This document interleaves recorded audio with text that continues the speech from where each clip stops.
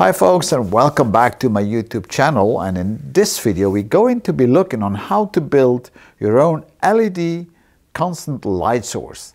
We all have worked in a studio as a photographer or videographer and you're used to flashlights and this is a flashlight and that's typically in a studio and these flashlights they come in all kind of brands and styles and they all have what we call a light shaper in the front. Uh, they come in different sizes. Uh, this is one, and the one in the back of me is a big umbrella. You have small umbrellas, you know, all kind of styles. And you probably have invested quite some money in those. And the problem now is that all these light shapers that we have, you can't really fit a continuous light to it unless you buy it from the brand uh, where you bought the softbox from. And those LED sources or lamp sources that produce continuous light are very expensive if you can find them for your specific fitting on your softboxes. Because softboxes, all of them have a proprietary fitting, and this is the kind of fitting for Broncolor. You know, it's like a circle with some keys on, so you will have to have something like this uh, to your constant light source if you want to fit it onto one of your softboxes. But don't worry, I'm going to show you on how you all can do this. And if you're a little bit handy uh, with Metalworks, not very complex, then you can do this very easily with a few little tools. But what I'm going to show you now is how you can create a continuous light source with an LED, a light emitting diode, producing at least 10,500 lumen. Now that is a lot. So let's go to the workshop and show you on how we're going to build it. So this is what we're going to need to build the light source. And the key thing is this LED. This LED produces 10,500 lumen. That's a lot. It's a 100 watt LED. It needs to be powered by 36 volts and a maximum of 2.7 amp. The problem with that LED is that it's going to get warm, so we'll have to cool it. If it's more than 60 degrees, it will be destroyed. So therefore, I'm going to use a typical cooling system that you can get for CPUs, but you can buy those cooling systems uh, online. And we'll mount the LED onto the cooling system. Very handy and uh, it becomes a bit bigger, but that's okay, it's still not too big. Uh, now to force the cooling, I'm also going to use a fan, and here's a fan, it's just a CPU fan, a computer fan, a desktop fan, whatever you want to call it.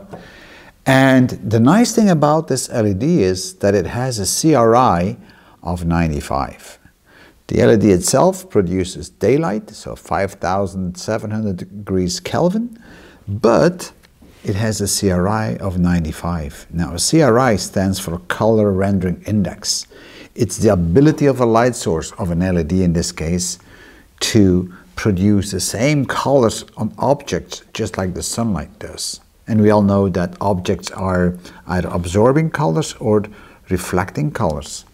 And um, because the sunlight is having a lot of wavelengths, and you can see that with the rainbow, you can see all the colors, or if you have a prism, you can see how the light can break, and then you see all the colors. Well, if the LED is producing the same range of uh, wavelengths for daylight, then you would have a 100% CRI. So it would be exactly the same as it was daylight. It would give you exactly the same colors.